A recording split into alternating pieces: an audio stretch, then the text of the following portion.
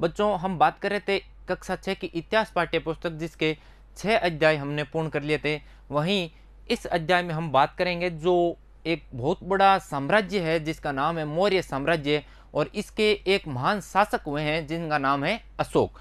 तो इस अध्याय का नाम है बच्चों, अशोक एक अनोखा सम्राट, जिसने किसका त्याग किया? युद्ध का त्याग किया। अब जो सम्राट अशोक हैं, एक ऐसा युद्ध करते हैं, इस युद्ध के बाद में ये क्या कर देते हैं? युद्ध त्याग करने की घोषणा कर देते हैं। तो इस अध्याय में और इस भाग में हम सर्वप्रथम बात करेंगे जो मौर्य साम्राज्य है और जिसके सबसे प्रतापी शासक है सम्राट अशोक इनके बारे में। वहीं बच्चों, हमने इसके पिछले अध्याय में बात की थी, बौद्ध धर्म, जैन धर्म, उपनिषदों और आश्रम व्यवस्था के बारे में। तो शुरू करते हैं बच्चों, मौर्य साम्राज्य सम्राट अशोक। सबसे पहले बच्चों, एक कहानी है जिसमें रोशन नाम की एक बालिका होती है और इसको दादाजी के द्वारा कड़क नोट मिलते हैं। अब बच्चों, कड़क नोट से इस बच्ची को एक कार्य करना था जो सीढ़ी लाने के लिए इसको ये नोट मिले थे। वहीं इसके मन में क्या था कि ये कड़क नोटों को देखना और छूकर महसूस करना भी चाहती थी और साथ में इसके दूसरा कार्य ये होता था कि उसी नोट से इसको क्या लेके आनी है? सीडी लेके आनी है। तो बच्चों, इसने नोट को देखते देखते देखा कि सभी नोटों में दाहिनी तरफ़ किसका मुस्कुराता हुआ चेहरा है? गांधी जी का मुस्कुराता हुआ चेहरा बना हुआ है।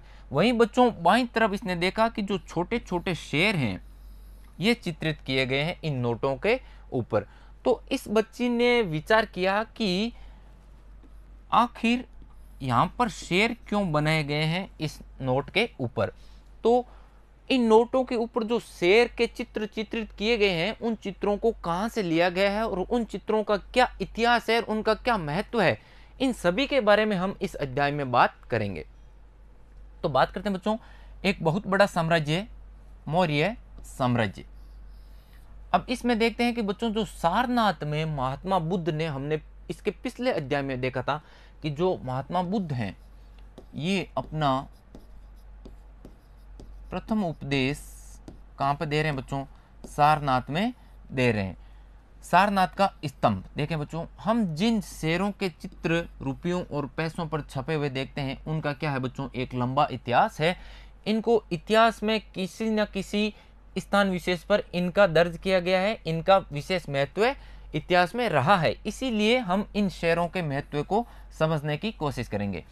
इन्हें पत्थरों को काट कर बनाया गया और बाद में इन्हें सारनाथ जो वर्तमान उत्तर प्रदेश में है, एक विशाल स्तंभ के ऊपर स्थापित किया गया। देखिए बच्चों, ये जो पत्थर है, ये स्तंभ है और इसके ऊपर ये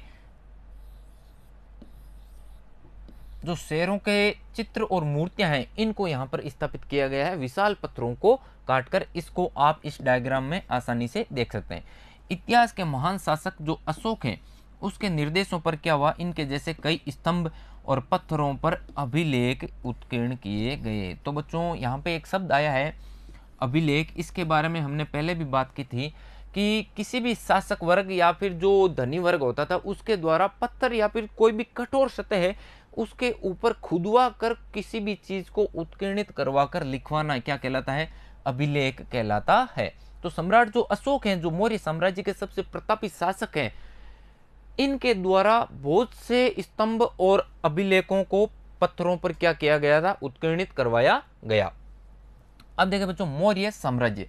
बच्चों, एक शब्द है राज्य और दूसरा शब्द है साम्राज्य। तो सबसे पहले देखते हैं कि राज्य और साम्राज्य में क्या अंतर है। साम्राज्य राज्य से बहुत बड़ा होता है, इसका क्षेत्रफल की दृष्टि से विस्तार देखें तो वो राज्य से कई गुना अधिक होता है। सबसे पहली बात, वहीं दूसरी बात देखें बच्चों, साम्राज्य में कर संग्रहण के लिए बड़ी संख्या में सम्राट को अधिकारियों की आवश्यकता रहती है।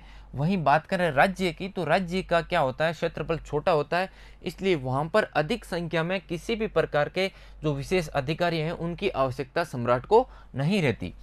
वहीं आगे देखें बच्चों, इन साम्राज्यों की रक्षा के लिए सम्राट को क्या होगी बच्चों? जो बड़ी बड़ी सेनाएँ हैं उनकी ज़रूरत पड़ेगी ताकि इस साम्राज्य को किसी भी अन्य शक्ति के द्वारा क्या नहीं हो, नुकसान नहीं हो। वहीं बच्चों, बात करेंगे कि राज्यों की तो राज्यों में किसी भी प्रकार की बड़ी सेना का रखना इस समय तक आवश्यक नहीं समझा जाता था, क्योंकि राज्य का क्षेत्रफल ही छोटा होता था, इसलिए बड़ी सेनाओं को रखने का कोई औचित्य भी नहीं होता था। अतः सम्राटों को, इन राजाओं की तुलना में अधिक संसाधनों की आवश्यकता रहती थी। इस साम्राज्य की स्थापना अशोक सम्राट और अशोक जो महान है, उनके दादा थे बच्चों चंद्रगुप्त मौर्य। इन्होंने लगभग तेईस सौ वर्ष पूर्व में इस साम्राज्य की स्थापना की थी। अर्थात जो मौर्य साम्राज्य है, उसके संस्थापक की बात की जाए तो संस्थापक कौन है बच्चों? चंद्रगुप्त मौर्य। और चंद्रगुप्त मौर्य के नाम पे ही इस साम्राज्य का नाम क्या पड़ गया बच्चों? मौर्य साम्राज्य। और मौर्य साम्राज्य में आगे जाके एक जो महान शासक होंगे, उनका नाम क्या है? अशोक महान। और इसी से क्या है कि मौर्य साम्राज्य आज भी अपना महत्व स्थापित रख रहा है। देखे बच्चों, चाणक्य या फिर इनका दूसरा नाम था कोटिल्य नामक एक व्यक्ति था। इसने क्या किया बच्चों, मौर्य साम्राज्य की स्थापना में जो चंद्रगुप्त मौर्य जो संस्थापक हैं, इनकी बहुत ही अधिक सहायता की थी किन्होंने चाणक्य नामक व्यक्ति ने, ये एक बहुत बड़े विद्वान थे और इन्होंने मौर्य साम्राज्य की स्थापना के लिए किसकी सहायता की? चंद्रगुप्त मौर्य की सहायता की। अब चाणक्य ने क्या किया? एक पुस्तक लिखी है और उस पुस्तक का नाम है बच्चों अर्थशास्त्र। इस पुस्तक का नाम है बच्चों अर्थशास्त्र, लेकिन अर्थशास्त्र नामक जो विषय है, जिसमें धन से संबंधित जो अवधारणाएँ हैं उनका अध्ययन किया जाता है। उनसे इस पुस्तक का किसी भी प्रकार का संबंध नहीं है। इसका नाम अर्थशास्त्र है, लेकिन बच्चों, इस अर्थशास्त्र नामक पुस्तक का जो विषय है, वो है राजनीति। अर्थात ये राजनीतिक जो विषयों पर आधारित क्या है, पुस्तक है, और इसी से संबंधित जो कई विचार इस पुस्तक में मिलते हैं।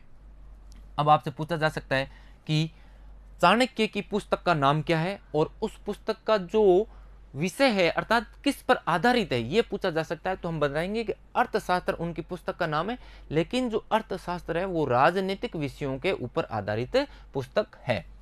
अब देखें, इसके जो मुख्य नगर हैं, वो है पाटलिपुत्र, उज्जैन और तक्षशिला।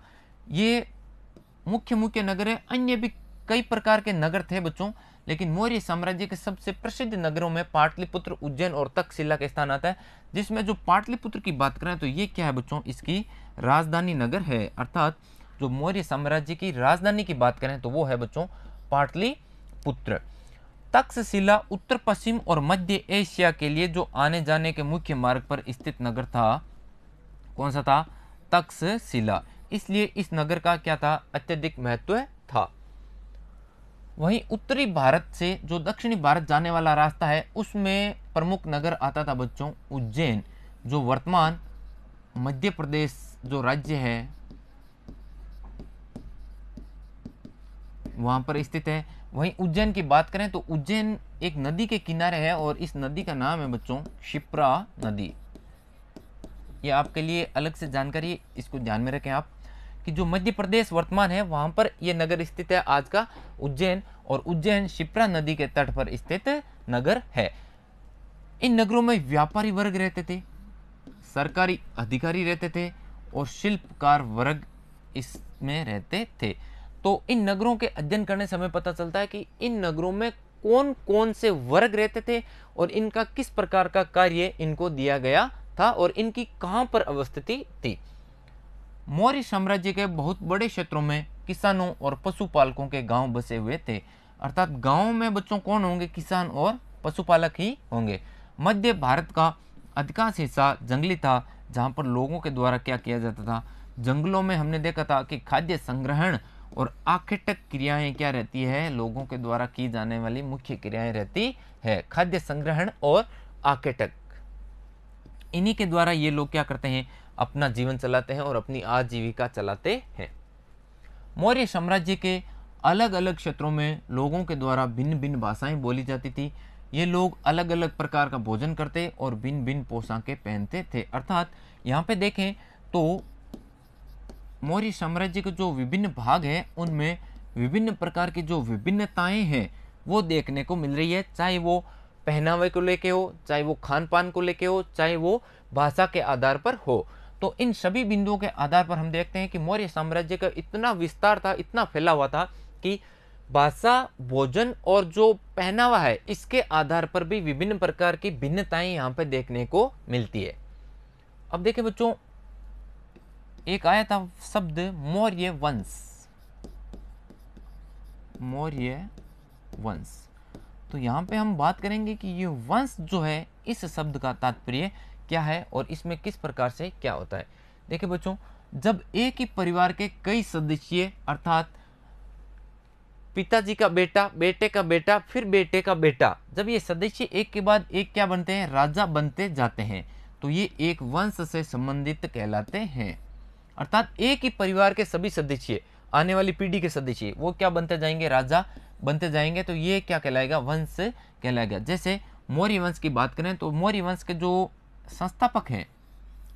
वो है बच्चों यहाँ पर। चंद्रगुप्त मौर्य। चंद्रगुप्त मौर्य यहाँ पर संस्थापक है और चंद्रगुप्त मौर्य का पुत्र है बच्चों बिंदुसार। बिंदुसार का पुत्र है बच्चों अशोक, जो इतिहास में सबसे प्रतापी और महत्वपूर्ण शासक हुआ था, जिसने मौर्य साम्राज्य को इतने शक्तिशाली रूप से स्थापित किया कि ये आज भी हमारे लिए क्या है, सबसे महत्वपूर्ण है। तो बच्चों, इस भाग में हमने देखा कि जो एक राज्य से कई गुना क्षेत्र में फैला हुआ एक साम्राज्य है, जिसका नाम है मौर्य साम्राज्य। और इस मौर्य साम्राज्य की स्थापना करने वाले का नाम है चंद्रगुप्त मौर्य। इस स्थापना में इनकी सहायता की थी चाणक्य नामक एक व्यक्ति ने, विद्वान ने, जिनकी पुस्तक का नाम था बच्चों, अर्थशास्त्र, जो राजनीतिक विषयों पर आधारित पुस्तक थी। और चंद्रगुप्त मौर्य का पुत्र है बिंदुसार और बिंदुसार का पुत्र है सम्राट अशोक। वहीं बच्चों, हम अगले भाग में बात करेंगे जो ये मौर्य साम्राज्य है, इसके प्रशासन में और किस प्रकार से इस इतने बड़े जो साम्राज्य है, इसको चलाया जाता था, इसका प्रशासन नियंत्रित किया जाता था उन सभी के बारे में। तब तक के लिए धन्यवाद।